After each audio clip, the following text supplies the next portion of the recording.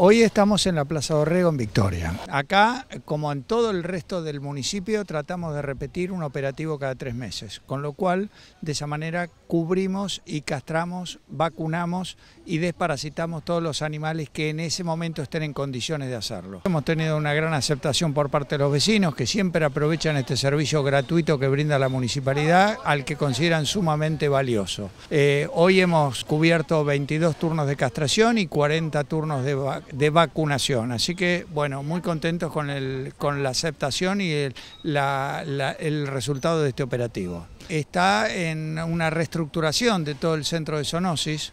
Este, se están eh, ayornando los el quirófano, el consultorio, la sala de espera, que está quedando muy linda, y se, cambia, se están cambiando las jaulas por caniles, que van a ser realmente cómodos para los animales que tengan que pasar un periodo en, en zoonosis porque han mordido, eh, esperando que se termine la obra como para poder inaugurarla y, este, y muy contentos con, con los cambios que se están realizando ahí en la dirección de zoonosis. No, genial. Y le sirve al vecindario también, también para ahorrarse unos pesos, para...